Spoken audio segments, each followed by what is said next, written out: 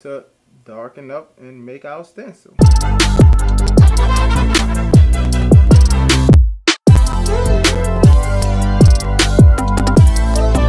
Okay, welcome back y'all. This is to be the second method, how you stencil, make a stencil from any image in Procreate. I showed y'all the first method. This method is pretty similar, so let's get started. The first is already desaturated, so we ain't got to desaturate the color. We're to go straight to the curve, slide up a little bit, lighten it up. Then we're gonna duplicate it. Remember the last um time we did divide, we're not doing divide, we're gonna do color burn, color dodge, my bad. We're gonna do color dodge, it's gonna look like that, still can see the image. For the next step, click on the same layer and invert it. Now you see how it turns white like the last one? And you know the next step was the Gaussian blur, so let's go to Gaussian blur. We're gonna put it back at 10 since that's what we did last time.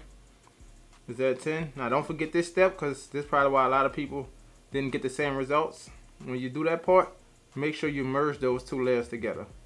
And then we go back over to curves to darken up and make our stencil. See that? Look at that. And I even tried printing this one out of the stencil machine. It did work. It didn't capture 100% of the detail, maybe because it wasn't dark enough. But bam, there you all go. Let me know what you all think. If you can't get the first method, hopefully this method will be a little easier for you. So thank you all for watching. Hope you all have a great day and keep on grinding.